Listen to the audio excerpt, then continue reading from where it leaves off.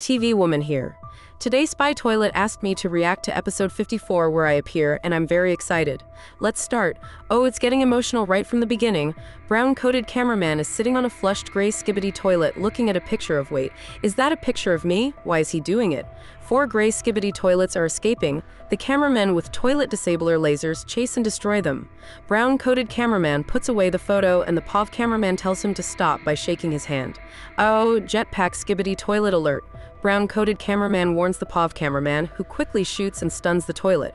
But then a gentle touch turns into a big slap wow. The POV cameraman gets on the toilet, pulls out the flusher cover, and dispatches the toilet. So much action, but wait, Strider skibidi toilet on the factory roof.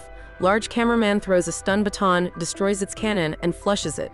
Thumbs up, oh no, glitch skibidi toilet surprise attack. It destroys large cameraman and hits three more cameramen.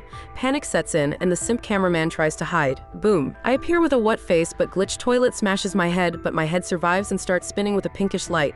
Glitch toilet circles, but I use hypnosis. The glitch toilet is frozen and falls. Haha, scientist cameraman gives a thumbs up, medic cameraman rush to help, and brown coated cameraman wants to hug me, but I teleport away, leaving him sad. Oh, the feels.